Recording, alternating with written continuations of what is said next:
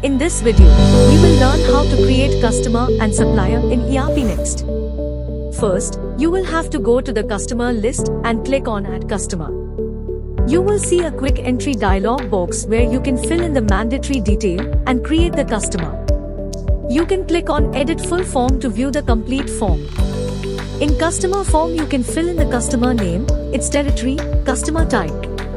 Here you can also define the grouping for the customer.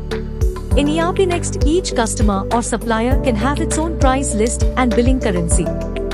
There is more information sections where market segment, industry and website can be captured.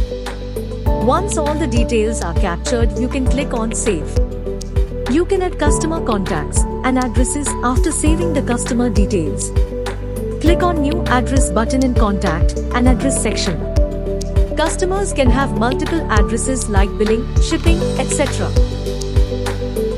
The same address or contact can be linked with multiple customers or suppliers.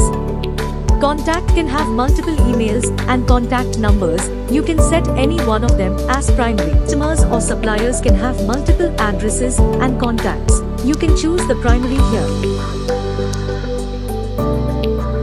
Same way you can also create a new supplier by filling in the necessary details after clicking Add Supplier.